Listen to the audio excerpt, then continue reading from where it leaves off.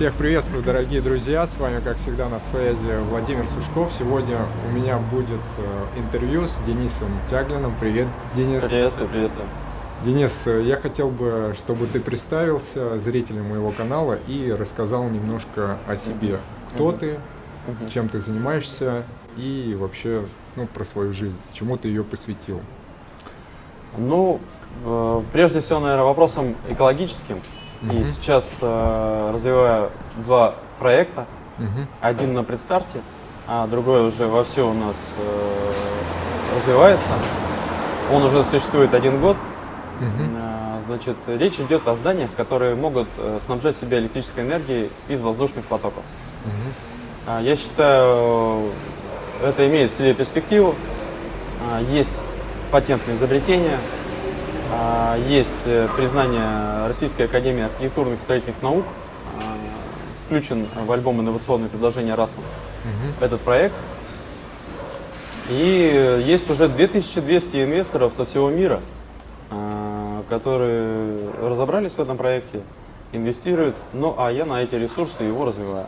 Понятно. Мгм. Мы да. сейчас говорим сейчас про Energy 2020, Да, да? Energy 2020, да, но в январе у нас будет такой Да, я рембрендинг. как раз вопрос хотел Да. задать, то ладно, если Да. можешь, Да, расскажи сразу. Расскажу, да. А, В январе у нас будет рестарт. Рестарт э, почему? Потому что проект этот запускался прежде всего для друзей. То Мгм. есть э, предполагалось, что друзья купят а, до, часть э, компании, да, Мгм. И эти денежные средства, они мне позволят по- э, получить патенты в других странах. То есть, э, как известно, ты получаешь патент в России, потом делаешь международную заявку по сети, Мгм. а потом э, такая стадия необходимая – это получение патента в каждой отдельной стране. То, что ты его получишь, э, гарантия 99,9, потому что патентное право, оно международное, но Мгм. так или иначе нужно э, сделать оплату патентному поверенному в той стране, где ты собираешься получить патент, Мгм. оплатить пошлины государственные там, и так далее, и так далее. Ну, а выяснилось, что это не только моим друзьям, близким интересно, да, а Мгм. первые акционеры именно они были. Первый акционер вообще моя жена, а, вот, потом ближайшие друзья. Я в том числе, я тоже. Ты прям- тоже в числе Я по первых, 10 да. копеек покупал акции Да. изначально, как только Да, да, да. узнал, вот как Да. раз от друзей своих блогеров. Да, да, кстати, ты никому не говоришь, что по 10. Почему? Потому что люди думают, что ну все, мы уже опоздали. Раз уже цена там 3,50, мы уже опоздали. Они не понимают, что перспективы э, роста они есть, а, поэтому нужно тут им математику дать на этот счет.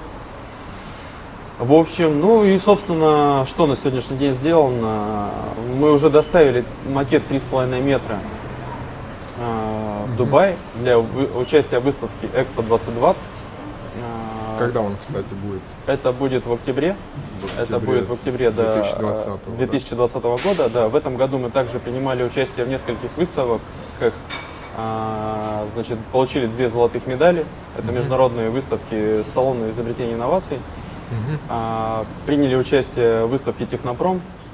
А, вот, что еще? И сделаны сейчас заявки, уже сделана заявка в Объединенные Арабские Эмираты по проекту ветроэлектростанция и э, в Китай.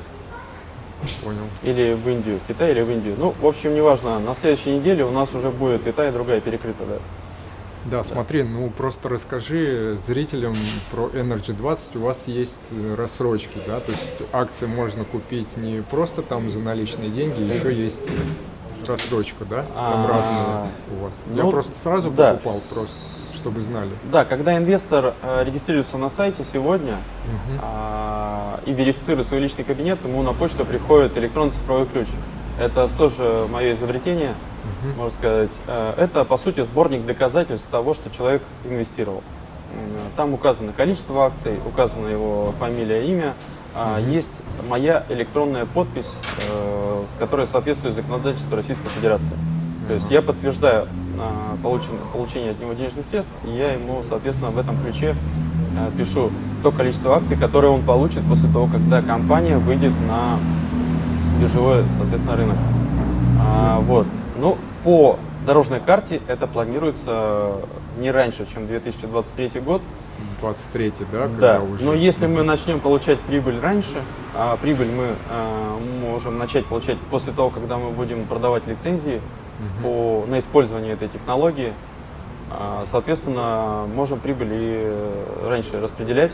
Но для того, чтобы выйти на биржевой рынок, э, нужно преодолеть достаточно большое количество таких э, этапов, угу. не мной придуманных, само собой. Ну, это, да. Но мы должны, естественно, будем стремиться и выходить на это. Да. Я понял. А вы будете через IPO, получается, компания это все делать, или как вы будете на биржу акций выходить? Да, э, смотри, э, российское акционерное общество было открыто мною лично внесен уставный капитал в размере 31 э, с небольшим миллионов рублей. Угу. Э, было, была эмиссия акций, э, значит, центральный, центральный банк сделал эмиссию акций. Э, были у нас, э, есть у нас договор э, с реестродержателем в соответствии с э, требованиями законодательства Российской Федерации, но угу. при наличии такого российского акционерного общества э, у нас есть ряд проблем. Э, таких, например, когда человек, гражданин Индии, пишет, что я хочу приобрести акции, как мне их на себя правильно оформить, зарегистрировать, зарегистрировать да, да угу. то здесь начинается такая история, когда... Волокита. А? Волокита, да? Такая да, такая волокита, когда нужно, во-первых, ему иметь представителя на территории Российской Федерации, ага. а, выписать на него нотариальную доверенность, перевести эту нотариальную доверенность на русский язык, а, значит, э, заверить этот самый перевод, опять же нотариально, да, да. Потом ему нужно пойти, значит, в российское посольство, верифицировать эту доверенность в российском посольстве, а потом почтой, соответственно, направить его на территорию Российской Федерации. Но в условиях, когда э, все хотят решать вопросы за 5 или 10 минут, конечно, это неприемлемо, да, такой, такой расклад неприемлем. Угу. А, поэтому принято решение а, вот выпустить такой вот электронный цифровой ключ. Я долго его обсуждал на прямых эфирах. Я каждое угу. воскресенье а, по московскому времени в 19 часов провожу такие прямые эфиры. Угу. И, э, в общем-то, в общем-то, с помощью тех уже инвесторов, которые у нас сегодня на сегодняшний день имеются, угу. согласовав с ними, устроит вас такой вариант или не устроит, появился вот такой документ электронный цифровой ключ. А, очень интересного такого дизайна он получился, там есть такие QR-коды. А, один QR-код пере, делает переход на публичную оферту, угу. где я сам лично рассказываю, что это за документ. А, есть QR-коды независимых организаций, в том числе и государственных, когда угу. они могут проверить значит, э, подлинность этой самой электронной цифровой подписи ну и, в общем-то, всем эта история очень нравится. И я на самом деле думаю, что через полтора-два годика очень многие начнут копировать. Но это не запатентованное наше решение. Но на самом деле вот этих секретов по запуску стартапов, а, как что нужно делать, у меня нет. И даже было дело Новосибирский технопарк. Это нечто подобное Сколково, только в Новосибирске, тоже очень серьезная организация. Они меня даже приглашали для того, чтобы я Э, прочитал лекцию э, стартапам, э, как это, то есть не, не лекцию, да? наверное, а историю. Да, uh как э, запускать и как бы ты это делал сегодня, какие, на, на какие вещи можно и нужно обратить внимание. Я понял. Ну смотри, вот даже не по списку своих вопросов иду, потому что ты сейчас вот эти вот темы говоришь, которые меня тоже интересуют. Я вот как ранний инвестор, я покупал акции год назад на первоначальном этапе, как я сказал. Да. У меня тогда еще не было вот этих вот э, подписей твоих. Нет, не да, было подписей. Вот да. как действовать, я даже не от тебя скажу, да. вот, а зрители тоже, у меня, ну там, кто инвестировал uh в твой проект, их достаточно большое количество. И как им поступать вот с этими ключами uh сейчас? Ну да, смотри, есть те люди, которые э, сделали, э, значит, открыли счет в ВТБ-регистраторе. uh Это на тот момент это был наш регистратор который, кстати, впоследствии с нами отказался работать. Да. Угу. А, как раз причина вопрос. какая? Угу. А, дело в том, что если ты оформляешь сделку в ВТБ регистраторе и а, стоимость сделки у тебя, ну, например, купил угу. ты акции на 5000, так оформить сделку у них стоит 3000 рублей такое. Вот, а если ты купил акции, а если ты купил акции меньше, чем на 3000 рублей, то тогда оформить сделку стоит 300 рублей. И, соответственно, когда у нас э, накопилось э, уже на, тот, на какой-то момент у нас было 1200 акционеров, да, и если мы считаем их по реальной стоимости, то у нас там получалось, э, плюс всякие пошлины, 4,5 из 18 миллионов привлеченных рублей мы должны были отдать 4 миллиона ну, за регистрацию того, что они стали нашими акционерами. Да, кроме да, всего да, прочего. кроме того, что, что, кроме того, что им нужно еще приехать, определенный адрес, это нужно все сделать почтно. А, и самое, что интересное, а, когда ты приезжаешь туда, ну, например, там, в 2 часа, то есть смотришь на сайте режим работы там, с, 9, с 10 до 6 офиса, да, но когда ты приезжаешь туда в 2 часа 30 минут, а, подаешь документы, передаточное распоряжение, тебе говорят, так а, у нас же с акционерами работа, она же только до двух. Я говорю, подождите, у вас же на сайте написано, да, до шести. Нет, у нас только на двух. Я говорю, я сейчас полтора часа через всю Москву ехал к вам, да. чтобы, соответственно, сделать эти э, юридически значимые действия. Они говорят, нет, ну мы, конечно, вас можем принять, но вы нам должны доплатить еще 2000 рублей еще, да. за неурочный прием, понимаешь? То есть э, вот эта вот вся система э, такая пыльная, знаешь, старая какая-то, скорузлая. Да. Вообще очень неудобно. Неудобная, некомфортная, э, ну не несет в себе особых перспектив. Поэтому ага. либо с ней нужно мириться и либо очень менять. медленно, да, и очень медленно развивать свой, стартап. А если ты его медленно развиваешь, то очень скоро появятся конкуренты, которые тебя будут догонять. Но это хорошо, когда у тебя есть еще патентное изобретение, да, угу. когда у него есть хорошая патентная формула твердая, угу. то, соответственно, у тебя есть время. Но опять же, у тебя есть время сколько? Вот с того момента, когда ты сделал заявку э, на получение патента на территории Российской Федерации, угу. у тебя есть 36 месяцев, чтобы получить патент э, в других странах. То есть, э, ну, скажем, если ты решил э, закрыть 80% стран, э, значит, да, на планете Земля, угу. то тебе нужно в течение там, этого короткого срока 35 миллионов рублей где-то иметь в запасе для того, чтобы сделать просто заявки Патенты, на да. получение патентов, да. И последующем, последующем еще нужно платить каждый год пошлину в каждую страну за поддержание этого патента. То есть система, она вся устроена так, что для барина у которого накопленный капитал, ну, барин, да, в кавычках, ну, да. она как бы удобная и комфортная. А для холопа, э, который на самом деле э, человек э, проактивный, с предложениями, э, то есть эта система она настроена на то, чтобы мы все ходили с поклоном э, к барину и как бы за копейки отдавали свои решения, они продолжали наращивать свой капитал, ну а мы довольствоваться э, какими-то малыми крошками.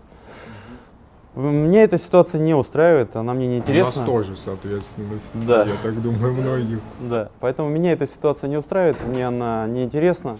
А, я понимаю, что есть силы, возможности, интерес растить, развивать.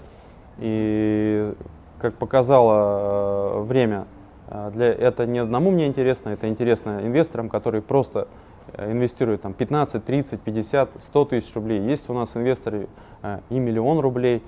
Но, Крупные, да? как правило, да, это наиболее близкие люди, близкие, которые, которым есть возможность очно донести информацию и которые знают твою историю. Ну да, и, кто именно... тебя лично знает, да, да лично тебе знает, доверяет. Да. Ага. да, поэтому если мы говорим о запуске стартапа, ребята, э, вы должны быть э, как бы на, на фронте да, этого проекта. Uh-huh. Потому что люди сегодня не а, с организациями, у которых не имеют лица, Э, ответственного да, лица, который вот очно заявляет э, о каких-то э, ну, какую-то информацию очно дает о проекте, они и за нее несет ответственность, люди такие проекты не заходят. Поэтому у меня есть также на, на, значит, на сайте страничка автор, где там отдельно Можно достижение посмотреть автора. про тебя да, и про да. твои изобретения. Да? да, про мои изобретения. Была у меня еще мысль туда выкладывать свои статьи, но как опять же показывает. блог делать, да? Ну такой, да, блог. Ну. Было бы, кстати, неплохо. Если да. у тебя есть, конечно, столько времени физически это все делать, то. Да, знаешь, ну, кстати, статья пишется, ну, буквально, ну, часов за 10. Вот у меня как-то она, если идет информация, то без остановки просто сидишь и пишется, она легко достаточно. А, но сейчас такой период, когда постоянно звонит телефон, когда постоянно какие-то вопросы, и нужно, соответственно, как-то находиться у руля и немножечко вот созидательную э, часть отняли, да, отнял проект у меня, который вот сегодня у нас растет, развивается. Ну, кстати, по поводу статей, э, как показывает статистика, тоже люди уже отучились читать. Ну, сейчас видеоконтент, да, входит в нашу жизнь, я думаю, да. что уже скоро телевидение у нас все перейдет, и потихонечку, кстати, уже многие каналы переходят в YouTube.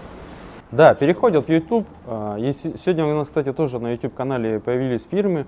Некоторые мне пишут, но они малоинформационные. Я говорю, ребят, ну тут хочу я или нет, я подстраиваюсь э, под окружающий мир. Э, посмо давайте просто также посмотрим статистику. Например, э, ну, научный сотрудник очень серьезной организации а, нам доносит информацию на своем языке. Давайте сколько, посмотрим, сколько у него просмотров. 300, 200 штук. 200-300 просмотров. Это о чем говорит? Это говорит о том, что зритель, он хочет информацию налегке, что ли, воспринимать. Но угу. поэтому, хотим мы или нет, э, нужно тут в таком виде э, пытаться донести. Поэтому сейчас есть э, на YouTube-канале такие фильмы, которые особого смысла не несут, но в то же время показывают, что работа идет, что происходит, что-то движение там, да, какие-то есть. А если у человека возникли какие-то серьезные и более глобальные вопросы, то тогда добро пожаловать на видеоконференцию. Задавайте очно в прямом эфире любой вопрос. Э, все открыто, все видят эту переписку. Соответственно, если ты на вопрос не ответил, все увидели, что ага, на этот вопрос не ответил. Да? Поэтому здесь хочешь не хочешь, на любой вопрос отвечаешь. А, ну и, собственно, да, смотри, да. еще я так думаю, что кто проживает в Сочи, мы сейчас, кстати, забыл сказать, что мы ведем прямой, ну не прямой эфир, а интервью из Сочи, да. и что к тебе можно в офис сюда заехать. Мы как раз находимся на улице вот рядом с твоим офисом. Да-да, друзья, э, адрес офиса Нагорная 11. Э, можно... Я оставлю там в описании под роликом. Угу, угу. Да, улицу. город Сочи, улица Нагорная 11, первый этаж. А, да, конечно, можно и можно нужно посещать да? офис, но мы... Ну, сейчас ремонт у вас идет. Ремонт идет, за, да. Закончите да. в январе, наверное, да, 20 -го. К Новому году, да. Приезжайте с Новым годом нас поздравлять. К Новому году уже у нас будет более-менее симпатично. Я понял. Да, ты, кстати, да. вот э, сказал про ВТБ-24, что вы ушли, да? Не, не мы ушли, так ну, это точнее, они, да. А, да, я сказал, что да, они ну, с нами ну, договор какое решение, какое решение было принято и как теперь с акциями? Вот с этим ключом А, да, да, да, да, да. Сейчас Или... я, кстати, тебе расскажу, да. да. Так вот, в итоге-то мы письмо получили от ВТБ, что мы с вами э, не сотрудничать приняли решение. Но почему приняли решение не сотрудничать? Потому что, естественно, мы не писали, что кто-то купил там э, за 15 тысяч э, себе акции. Мы писали, что он купил их за 2 500. Для того, чтобы вместо 3 тысяч платить 300 рублей. Сами понимаете, для стартапа каждая копейка, она важна. Ну и учитывая то количество людей, которые приходило в этот регистратор, мы были очень заметной организацией. А, конечно же, они провели, провели анализ, то есть до юра а, как бы доказать они не могут, по, по какой цене там сделка на самом деле прошла. Для них информация недоступная, но де-факто им понятно. Поэтому они сказали, что мы перестаем с вами сотрудничать. То есть я это рассказываю к тому, что э, заскорузлая система, ну, которая да. не хочет сегодня воспринимать э, стартапы, стартаперов. Новое решение. Новое решение. Да, просто давай нам деньги, да. плати нам деньги и э, живи давай, дальше. до свидания. Да, да. Я понял. Ну а решение какое все-таки? Это ключи, да? Вот да, вот, и в итоге, да, да, да, да. Ага. То есть и мы перешли на электронные цифровые ключи. А смотри, а тогда такой складывается вопрос, а кто уже в ВТБ-24 туда сходил, акции да. на себя оформил, как им поступать вот в этом да, а, значит, здесь э, сейчас а, мы в течение недели, я думаю, уже начнем а, отправлять договоры. А, здесь на самом деле очень важные юридически значимые действия должен будет совершить а, каждый, кто оформил акции в ВТБ-регистраторе. Сейчас э, мы должны будем заключить, что эти акции он обращ, э, возвращает мне обратно, а я ему уже взамен на них выдаю электронный цифровой ключ. И на видеоконференциях, э, естественно, я тоже говорил о том, что, друзья, э, немножечко вот это правовое поле у нас меняется, э, поэтому если кого-то не устраивает, мы можем сделать возврат. Это не проблема. Но, опять же, статистика показала, что возвратов по этой теме вообще не было у нас. То есть, в общем-то, все люди хорошо воспринимают. Я тебе, знаешь, знаешь, хотел еще тоже сказать, что вообще мир э, ближайшего будущего, это прям 2-3 года, мы уже будем уходить от этих самых э, договоров, да. Ну, это и так очевидно и понятно, с да. блокчейном, тем более с технологией, что я думаю, да. что это как-то будет внедряться, и это... Да, да, да, да. То есть, если сделка, сделка там не жизненно важная для человека, если это не квартира, если это не автомобиль, то люди просто будут заходить в твою соцсеть, э, смотреть твою историю, э, значит, смотреть отзывы, да, в интернете. И, кстати, уже появляются сайты-вымогатели э, в интернете, которые предоставляют некомпетентную информацию, э, заявляя там о, о разных людях э, негативные сведения. Ну, я Но я в этом на самом деле проблемы тоже не вижу. Потому что если человек ну, недостаточно образован и не, бож, не может правильно воспринимать информацию, он может ее воспринять за действительную. Но если человек образован, он понимает, что информацию любую нужно проверять, в любую информацию нужно вникать. Соответственно, рано или в какой-то момент он придет к выводу, что где правда, а где нет. Поэтому я, честно, к этому тоже спокойно отношусь. Ну так вот, то есть э, по ВТБ-регистратору, соответственно, составляем такое соглашение, с двух сторон подписываем, э, человек получает ключ, ну и в конечном счете я должен буду все эти акции, которые мы вот пошли вот этим путем, не совсем правильным, а вернуть обратно. Ну и, собственно, я понял. Наличие этой компании э, российской, да, это вопрос. Это вопрос, э, нужна ли она будет или не нужна она будет. Ну, это посмотрим.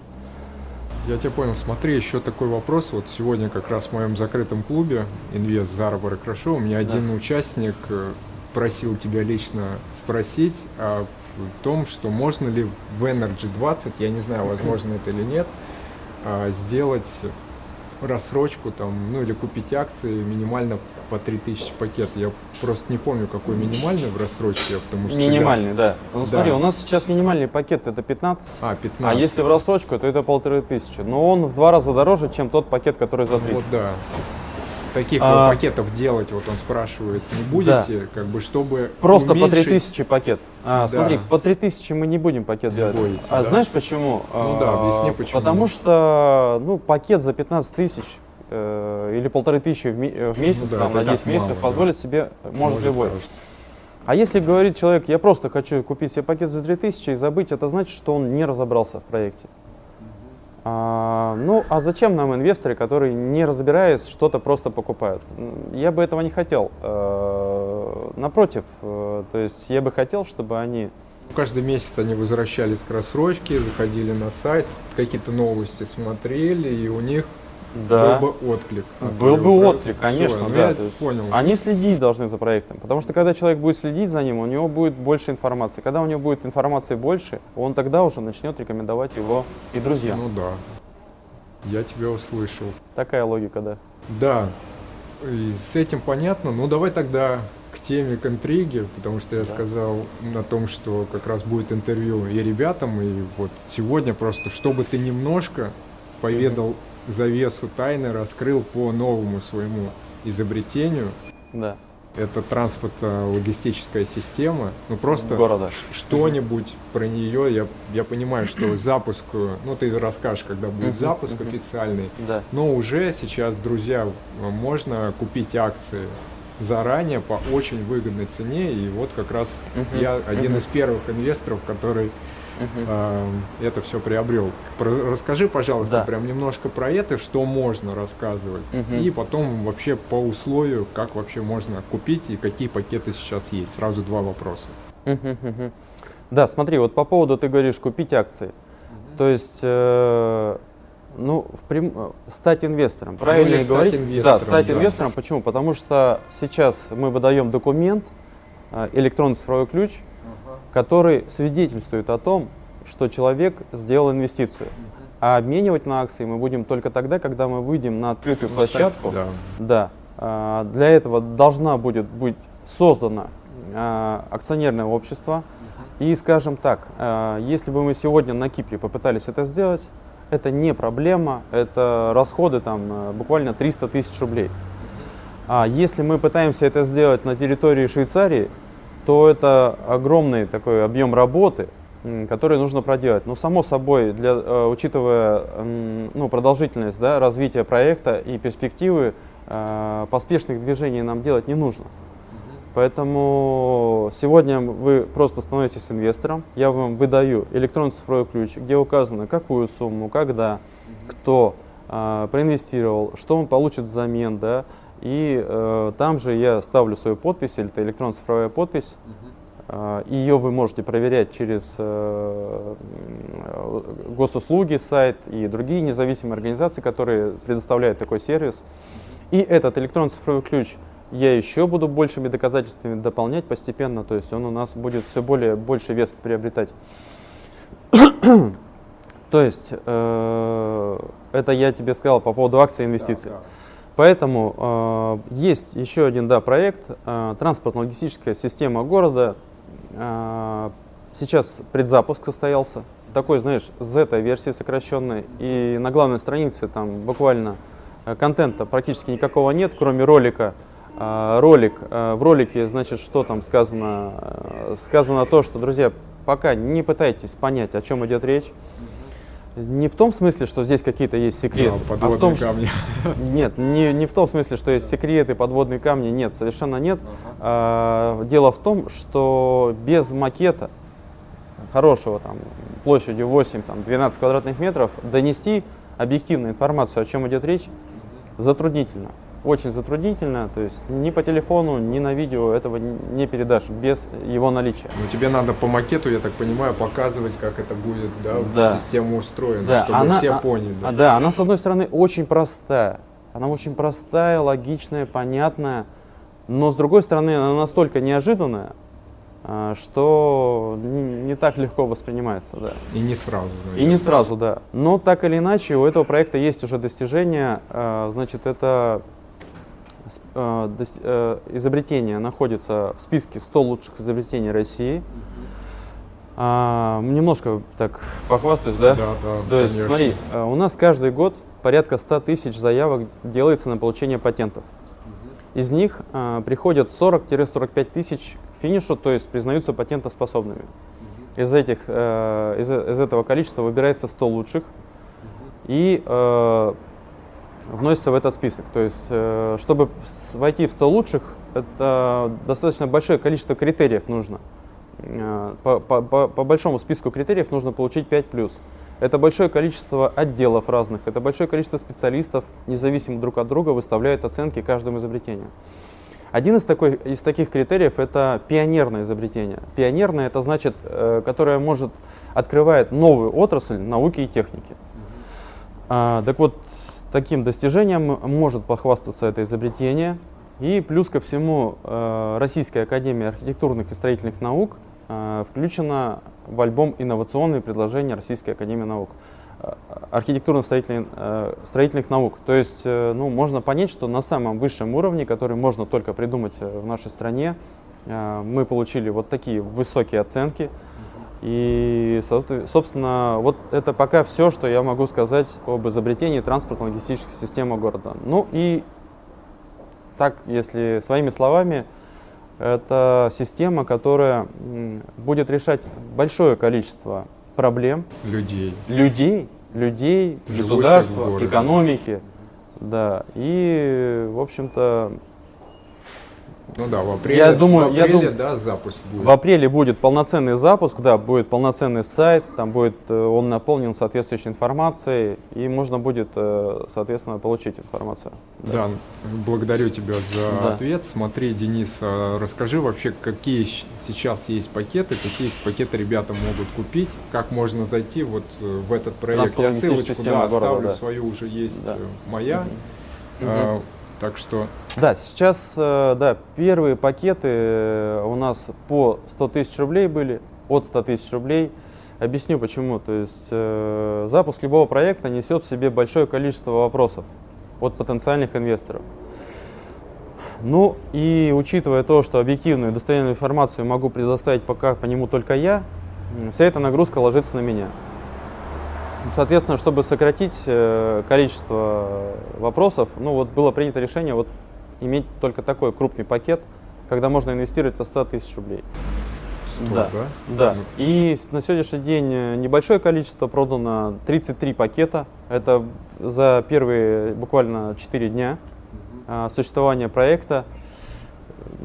Немножко иногда троила платежная система. Э, вот. Ну, в общем, еще акционеры наши по Energy да, обратились с тем, что все-таки хотелось бы им тоже приобрести, но 100 тысяч это большая сумма для них. И было принято решение выпустить еще один пакет стоимостью 50 тысяч рублей, но там э, цена на пол копейки за акцию больше. То есть процентов на 20 э, в пакете получается меньше акций, да. То есть за 100 тысяч акций ты получаешь, получается, по 2 копейки, это 5 миллионов акций за... Правильно? Да, получается так, за да. 50 тысяч это 2 миллиона акций. Да, да. А, ну 2. все, ну это да. огромное количество, я считаю. Тем более на первоначальном этапе зайти технологии будущего, я считаю, что это очень выгодно. Ну да, это самый начальный этап. Э, нужно не забывать, что любой проект, он начинался с гаража, с одного человека, с одного молотка, с одного зубила. Джобс, пример. Да, Стив, Стив Джобс или, например, э, Карл Бенц, uh-huh. который там в своем гараже собрал автомобиль, да, да, да масса примеров. Да. Все начиналось с единицы. Все начиналось с идеи, с идеи, с, идеи, с единицы, которая казалась никому не нужной, э, непонятной. А, там, качать нефть, э, сверля дырки, отверстия в земле, это тоже казалось э, какой-то невероятной глупой идеей, что как это возможно, кто это будет делать. А, ну вот тоже история на YouTube была о том, что первые бурильщики – они думали, что у них э, их э, работодатель, он немножко свихнулся. То есть, когда он днем за ними наблюдал, там, давайте работайте, они работали, а по ночам они разбегались просто, потому что они просто не верили в то, что э, нефть можно добывать таким способом, да. Ага. Ну, сейчас это все возможно. Да. Я тебя услышал, благодарю за ответ. И, наверное, последний вопрос я задам, угу. что, в принципе, ты все раскрыл тему. Угу. Расскажи, пожалуйста, ну это я думаю, что стандартные вопросы на твоих вебинарах угу. и вообще видеоконференции, почему, да. да, видеоконференции. Почему э, ты запустил второй проект да. сейчас, если еще до конца не сделан? Первый не вырастил, да. Скорее всего, задаю тебе. Да, этот вопрос, конечно. Нет, еще один есть а, у меня еще да? потом. Без проблем. После, да. Хорошо, да. Ага. Ну, здесь у меня ответ простой. Э, если у вас родился сын, мало кто дожидается, когда он станет совершеннолетним и самостоятельным, да. Обычно у нас э, двое-трое детей, да, может быть и больше. И э, ну, не мешает это, одного другому не мешает. Здесь э, есть наличие патента. В, первом, э, в первой, значит, в проекте Energy есть патент, у которого есть ограниченный срок на получение патентов за рубежом. В проекте транспортно-логистическая система есть также патентное изобретение – там тоже ограниченный срок на получение патентов э, за рубежом. То есть просто взять его, отложить э, до лучших времен там, или пока я этот вырасту, невозможно. Это во-первых. А во-вторых, друг другу они точно мешать не будут и не мешают. Кроме всего прочего, они в некоторой степени друг друга дополняют. То есть э, участвовать в выставках мы можем точно так же при тех же расходах и с двумя проектами. Угу. Встречаться с потенциальными там, заказчиками, инвесторами и так далее, мы можем им сразу два проекта предлагать, потому что э, это относится к девелопменту, да, угу. и это интересно девелоперам, поэтому они идут попутно, не мешают. Ну и, кстати, есть э, масса примеров, когда ну, небезызвестный у нас предприниматель э, Билан Маск, у него, по-моему, там 10 или 12 да, проектов. 12 да. проектов, да. 12 у него, да? По-моему, да. Да, около того. Память. Ну, мы видим, что оно другому не мешает. То есть постепенно же появляются люди, которым часть задач можно делегировать. Естественно, это нормальный процесс, это должно расти, и постепенно это будет количество, э, коллектив нарастать. Поэтому, ну, просто наблюдай, а организация и контроль, э, в общем-то, позволят этим проектам Э, развиваться успешно, да? Да, я понял. Тогда вот еще последних два вопроса. Первый вопрос это я знаю, что название будет у Energy 2020 меняться, да? Да, Сейчас будет. проходит конкурс на название. Нет, смотри, или уже все? По Energy у нас название уже определено. Это у нас был конкурс весной. А, все уже, да? Да. Угу. А, компания будет называться Ветер через W. Слово через W пишется. Угу. А, то есть такого слова в словарях нет. Ну, для Ну, я да, говорящего по-русски человека. он понятно, что... Напоминает, да, Всё, ветер. Но на самом деле шифровывается так. Wind, Energy, Technology, Era, возобновляемый. А, вот, э, в общем-то, вот такая удачная аббревиатура, уникальная. И как раз подходит к твоему, И к твоему тематике, первому изобретению. Да, первое изобретение Energy 2020, сами понимаете, не самый лучший Ну вариант, да. но с чего-то нужно было начинать. Нужно было, чтобы имя было уникальное. А, то есть, если ты просто делаешь Energy, Eco Energy и так далее, и так далее, и так далее, уже масса таких э, вариантов существует. Да. А когда, ты когда я добавил цифры, я увидел, что этого нету. Ну и я подумал, что на первое время этого будет достаточно. Транспортно-логистическая система города, вот сейчас мы в поиске названия. А, то есть мы же не можем компанию назвать транспортно-логистическая конечно, система это- города, потому что чаще всего там, когда ты второе слово будешь э, говорить, уже у людей что-то. Поэтому нужно какое-то простое, лаконичное название. Сейчас на страничке ВКонтакте у меня проходит конкурс. Там приз 25 тысяч рублей. И порядка, ну, 40 предложений уже имеется. Мы, я так думаю, числу так к 10 декабря э, вынесем в этот список эти все названия. И проголосуем, да? И или- да, и будет проходить голосование. Вот. Есть э, название одно, мне очень оно, в общем-то, понравилось, оно неожиданное, в принципе, для меня. Но Ну, пока, ты сейчас не говори, да. пока будет, нет, не да. говорю, не говорю, но возможно, конечно, будут еще лучше варианты. Ага. Да. Все, благодарю за ответ. Да. И последний вопрос. Да. Это я тоже знаю, что ты сейчас планируешь технопарк, да?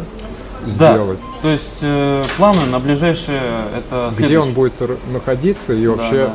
Мгм. если есть Мгм. уже какие-то там наметки, где будет это все происходить? Строятся вот первые твои изобретения, ну, внедряться туда будут, да?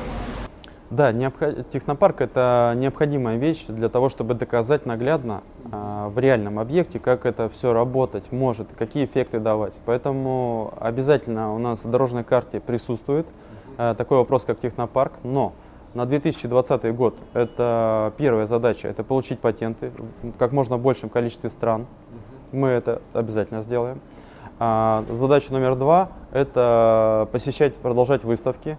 А, Во-первых, это полезно для контактов, потому что очень интересные контакты иногда появляются с научными сотрудниками, а, с специалистами из каких-либо областей, а, обмен информацией, сведениями, то есть это целевая аудитория на выставках.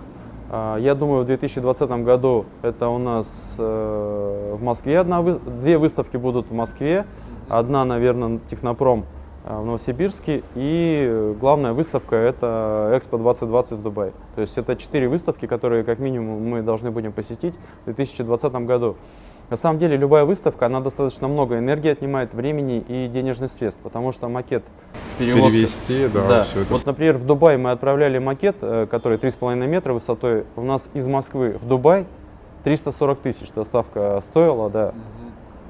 А, причем мы не просто первую попавшуюся компанию взяли, то есть человек взял за этот вопрос, прозвонил и так далее. Но там такие громоздкие ящики у нас были, что, что оно ну, на самом деле то и стоит. И сам понимаешь, эти всякие билеты, оплата выставочных стендов, то есть достаточно много ресурсов. А вопрос номер один это у нас все-таки получение патентов. Ну, в этом вопросе мы движемся по графику, поэтому выставки будем посещать.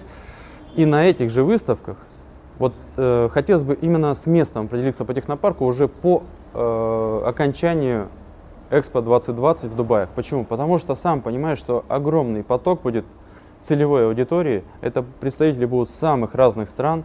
И, возможно, кто-то нам предложит нечто такое, чтобы мы именно на его территории разместили технопарк, что мы ну, не сможем просто-напросто отказаться. Ну да, может быть в Дубаях, между прочим. Да, может быть раз. Дубай, но видишь, Дубай это все-таки город э, с, низ- Хотя да, там- с низкопотенциальными потоками, то Да. есть ветра там не сильные. То есть если мы говорим о здании от 100 метров и выше, то для Дубаев да, эффективно. А если мы говорим про наш технопарк, где здание там 20 или 30 метров, которое, да, должно функционировать обязательно туда, то есть э, обязательно оно должно будет эксплуатироваться, не просто технопарк, какой-то памятник, да, то есть это э, здание, которое будет эксплуатироваться много десятков лет, а, может быть это будет какой-то отель, то все-таки территория нужна а, со, со средней годовой скоростью ветра, там все-таки 6-7 метров в секунду. Ну, там, не знаю, Камчатка или, может быть, вершина на Красной Поляне, Ну да, я вот слышал на вебинаре ты как раз про Да, мы вчера там побы- побывали, да, то есть есть там точки, где есть хороший ветерок постоянно, да, и есть большой туристический поток. И, ну, я не против, но мы, мы, конечно, попробуем э, эти вопросы уточнять, но я не думаю, что у нас в России прям сразу Ну да, скажут, все. ребята, давайте, к нам. да, давайте к нам, да. А вот э, от зарубежных партнеров такое предложение получить можно. Ну, как-то у нас складывается так, что э, у нас все медленно. Медленно, очень медленно. Не знаю почему. Там есть ответы, наверное, но мы сейчас не будем их Да, озвучивать. то есть у нас все медленно, наверное, у нас все медленно не в смысле, у нас все медленно в проекте, Да, а у нас на территории нашей э, любимой родины, да. да, Ну я понял. Все, Денис, благодарю тебя за интервью, Да. что предоставил такую возможность. Ну, спасибо тебе, что ты приехал и задал эти вопросы. Благодарю тоже. А, Именно такие люди нам помогают, конечно же, выращивать э, наши проекты. Да, и потенциальных инв- инвесторов тоже. Да, привлекать потенциальных инвесторов. э, И я думаю, э, вообще в будущем, э, годика через три, краунд-инвестинговых проектов, стартапов, их будет намного-много больше. То есть это такая новая эра, открывается возможностей. То есть сегодня в одиночку создать компанию, какой-то продукт, это ну, не представляется возможным. Очень сложно, я согласен. Да, то есть смотри, с приходом краунд-инвестинга, интернета а, и наличием вот этого сервиса платежного у нас открываются совершенно новые возможности. В одиночку. Сегодня мы можем что сделать? Э, Ну, можем сапожную мастерскую открыть, там, автомойку построить, там, я не знаю. А, то есть я говорю в одиночку не про барина, а про обычного человека, который 97% населения нашей планеты. А здесь, э, когда человек инвестирует небольшую сумму, э, появляются перспективы того, что эта небольшая сумма превратится в большую сумму. Далеко не будем ходить. э, Компания Uber, 2009 год, э, два молодых человека, один ноутбук на двоих, э, решили захватить, соответственно, все такси мира, да, завладеть. Ну и акциями рассчитываются с другом в парикмахерской, ресурсов особо нет. Но сегодня мы видим, насколько мощная компания, насколько мощную компанию это превратилось, даже без наличия патента на их технологию. Ну, то есть э, вот выросли. Поэтому такие стартапы будут, их будет еще больше, изобретений будет еще больше. А, то есть э, еще большими темпами все будет расти и развиваться, поэтому направление краунд-инвестинг, инвестирование или, э, как у тебя, я так понимаю, целый портфель Ну да, у проектов. меня, да, сбалансированный, грамотный портфель, и Да, там то есть все когда ты- есть, и стартапы, и там все остальное. Да, когда ты детально, то есть разобрался э, во всех этих проектах и можешь объективную информацию дать э, потенциальному инвестору, это очень ценно. Таких специалистов сейчас очень мало, ниша не занята, и поэтому я думаю, сюда будут приходить и стартапы, и менеджеры таких стартапов, и, соответственно, этот союз откроет новые возможности для людей и для технологий. Все понял. Да. Благодарю, Денис. Такое мнение у меня. Да. Все тогда. да. Счастливо. Спасибо.